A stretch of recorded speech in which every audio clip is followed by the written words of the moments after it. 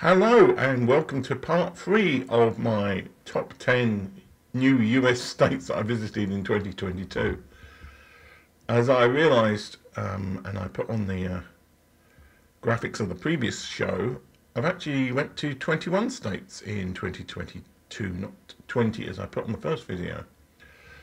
Uh, for some reason, I totally forgot about Pennsylvania, which I've already been to, uh, but I went again uh, in 2022. So anyway, we got the next two items up on the list in this video, so enjoy. Number 4, Dallas, Texas. I visited Dallas in Texas for the podcast movement conference this year primarily, and it was stupidly hot because it was August, so temperature was in the 90s. However, I did get a chance to visit several attractions, though I know there's a lot more that I could have visited in the Dallas Fort Worth area. I just didn't have enough time. Now, the Reunion Tower isn't that high and it's not that impressive, but you do get a reasonable view over the Dallas skyline. And it's an interesting complex of buildings with a hotel underneath it that you can visit. So it's it's reasonable. I wouldn't go out of my way to visit it, but it's a reasonable attraction. So the grassy knoll is a little little bank of grass on the side of the road around near where John F. Kennedy, the president of the US, was assassinated in the 1960s.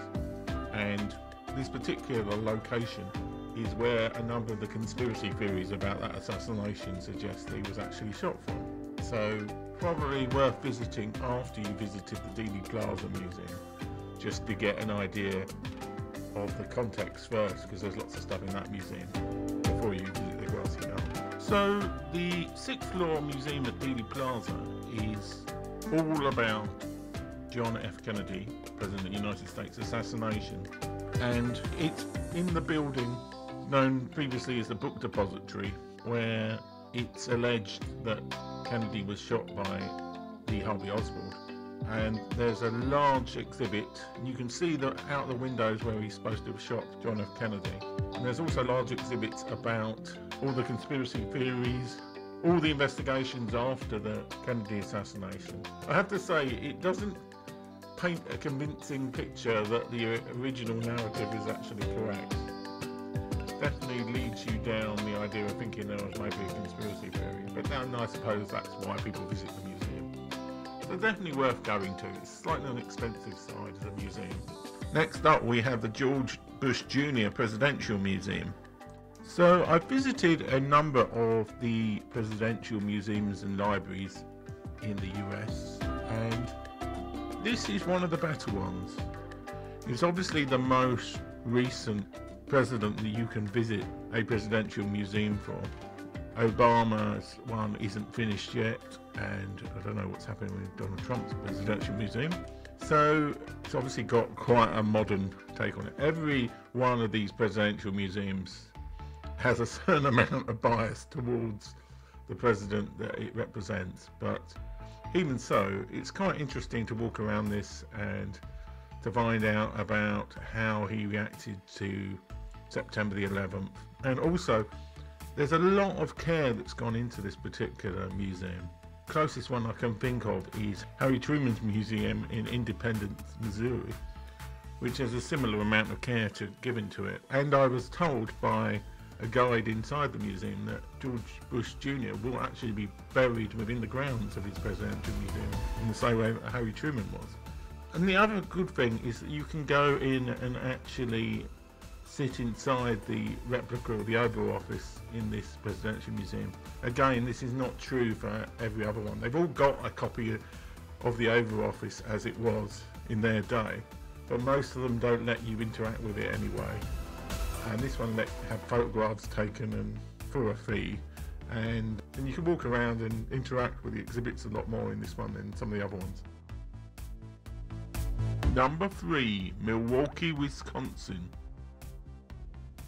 I have to say I was quite surprised by how many good things there were to do in the Milwaukee area.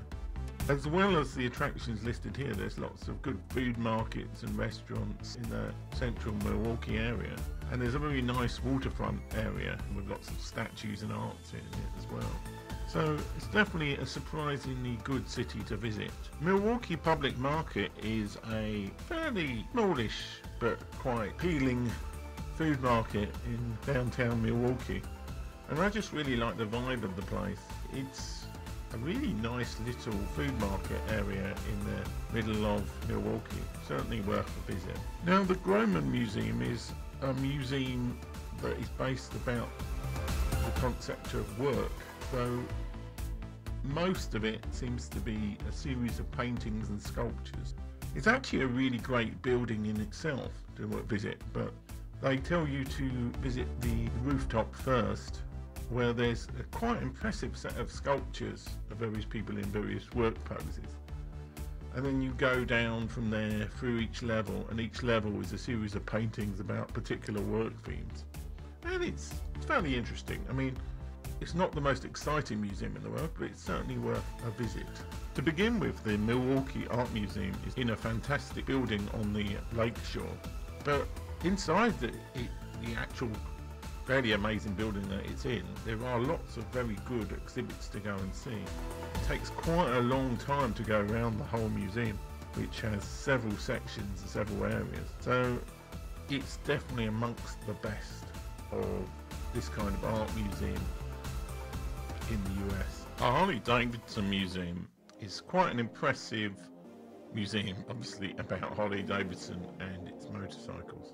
I'm not a particular fan of motorcycles or motorcycling, and I thought the museum was impressive. So I'm guessing for somebody who is a Harley Davidson fan, this would be the number one attraction in the city, and it's certainly very impressive.